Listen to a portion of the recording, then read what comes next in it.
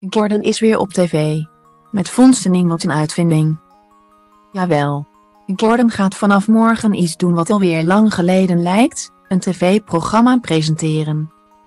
Na alle, niet, huwelijksperikelen die de revue de afgelopen tijd passeerden, zijn we daar eigenlijk wel aan toe. Gordon trakteert ons nu op al dan niet handige vondsten in het nieuwe SBS6-programma Wat een uitvinding. Is dat wat? Alle reden voor Metro natuurlijk om wat een uitvinding alvast te bekijken voor blik op de buis. In deze rubriek bespreekt Erik Jonk nieuwe of opvallende programma's van reguliere omroepen en streamingdiensten. Zoals eerder vandaag ook de Videoland film Mafia, Tata. Ach, die Gordon.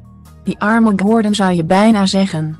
Kondigt hij via Instagram zijn zoveelste voorgenomen huwelijk aan, met Gavin Rosario. Gaat het toch weer mis? Pagina's werden erover volgeschreven en op datzelfde Insta liet Gordon afgelopen week weten hoe het nou werkelijk zit. Of niet, daar wil ik vanaf zijn. René van der Grijp zag het in talkshow Vandaag Inside allemaal hoofdschuddend aan, dit gaat nergens over. Hoe dan ook, het in stand houden van een relatie heeft Gordon nog altijd niet uitgevonden. Dit is natuurlijk een briljant bruggetje de hele Koningsdag over gedaan naar wat een uitvinding.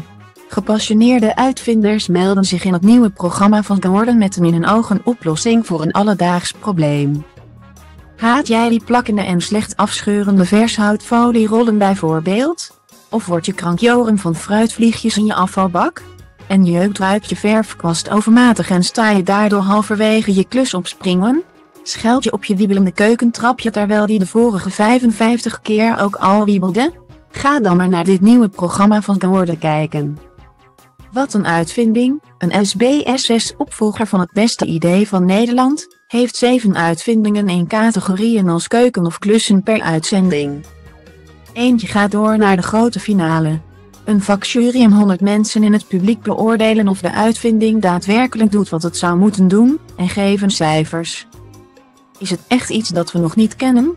Is het duurzaam geproduceerd?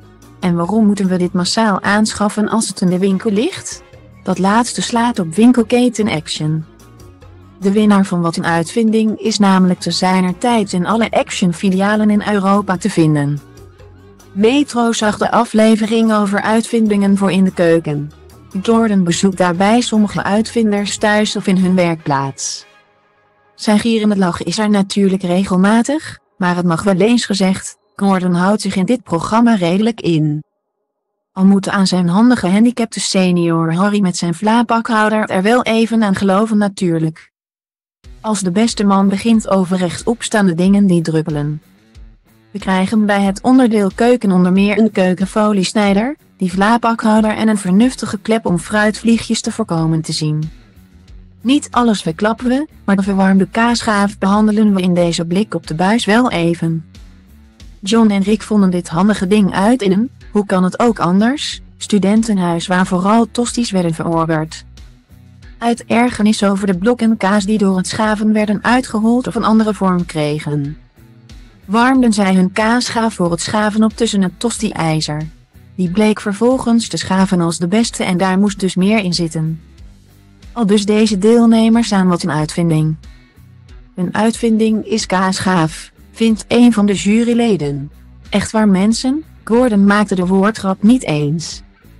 En ook de reactie van de uitvinders niet, ons idee heeft jarenlang op de kaasplank gelegen. Is wat een uitvinding iets om op zaterdagavond te gaan zien? Ja hoor, eigenlijk wel. Na infantiele tv als Avastars en alles is muziek van de laatste tijd vreesden we even. Maar Gordon brengt iets waar we allemaal op zijn minst best nieuwsgierig naar kunnen zijn, nieuwe. Handige dingen. Aan zingende poppetjes zonder ziel of trommelen op een shoelbak hebben we met z'n allen niets. Aan goede uitvindingen wel. Gelukkig hoeft televisie maken niet altijd heel moeilijk of gevuld met aanstellers te zijn.